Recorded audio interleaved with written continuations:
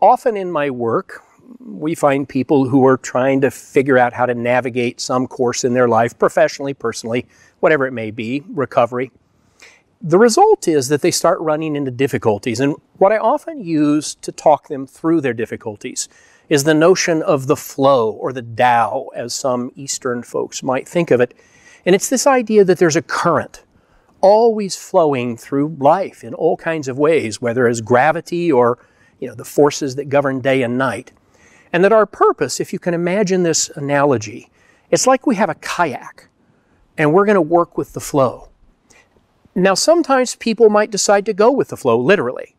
Other times they might decide that it's in their best interest to cut across the flow and into an eddy. Another time they may decide that they're going to take the flow into a bunch of whitewater because they're going to play on the whitewater. They might even decide that they're going to cut against the current because they want to do that for some reason. There's not a right answer. This idea of go with the flow is an oversimplification. What is not an oversimplification is understanding that things happen in our lives in the world.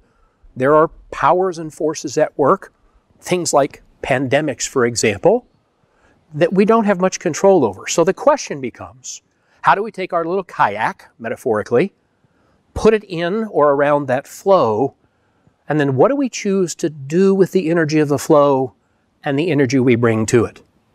The answer is whatever you want it to be, but you can't do it without giving thought to the flow and how you're going to interact with the flow.